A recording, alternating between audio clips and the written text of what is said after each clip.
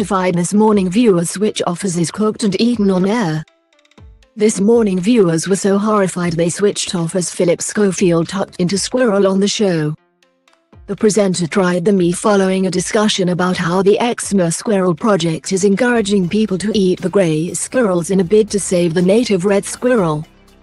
Chef Phil Vickery served up a squirrel risotto and buttermilk squirrel, and Schofield and presenter Tom Swarbrick both gave it a go. However, Chef's co-host Holly Willoughby refused to try the dishes, saying that even the thought of it left her feeling a bit jippy.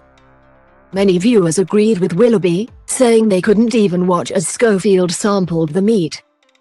One tweeted that it was an absolutely disgusting segment. Squirrel risotto? Are we using roadkill now said somebody else.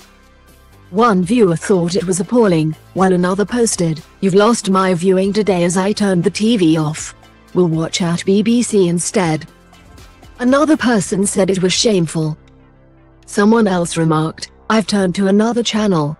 I love the grey squirrels that visit our garden. Double quote.